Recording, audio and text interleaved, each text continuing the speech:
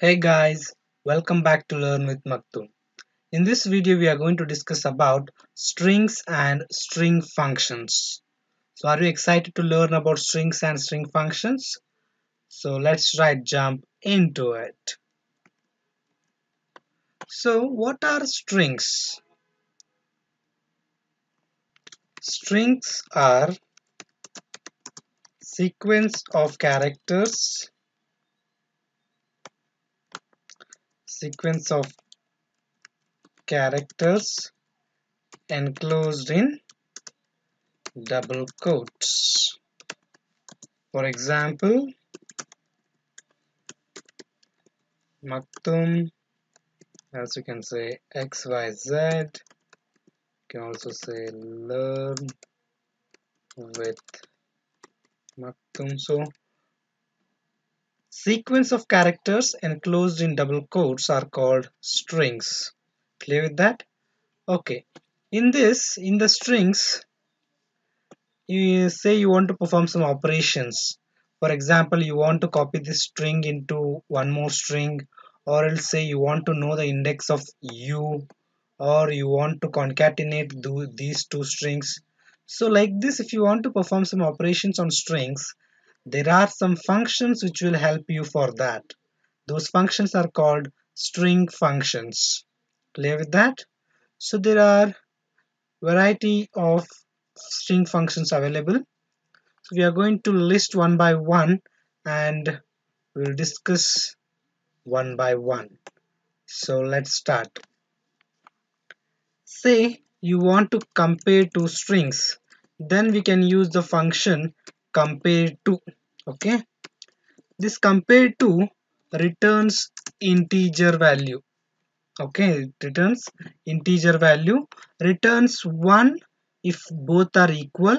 Returns 0 if not equal. Okay. There's one more function which performs the same operation that is equals function. This will also compare two strings and it returns boolean it returns boolean. If both strings are equal then it returns true. If not equal it returns false. Clear with that? Yes. Say you want to know that a particular character it is present in that string or not.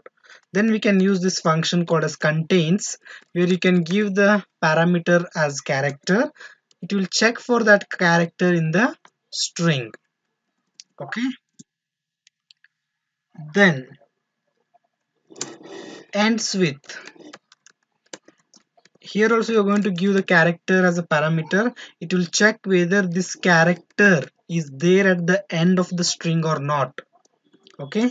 The opposite of this is starts with and you're going to specify a character here. And this function will check whether this character is there in the first position of the string or not whether it is the starting character of the string or not okay?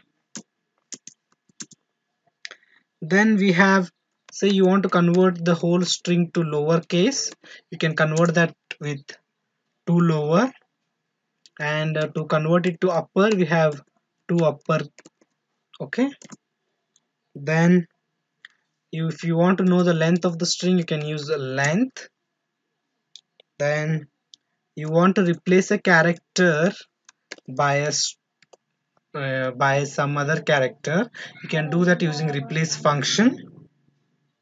Then if you want a part of a string then you can use substring which will help you to take a part of the string. Then if you want to remove the last one is if you want to remove the blank spaces in a string. Say in this learn with Maktum there's a blank space in between. You can remove that blank space using trim function. Clear with that? So these are the some of the string functions okay? So i hope you are clear with that okay? In the next video we are going to write the write the program. In the next video we will be writing a program to demonstrate these functions okay? So i hope you like this video and i'm going to see you in the next video. Thank you for watching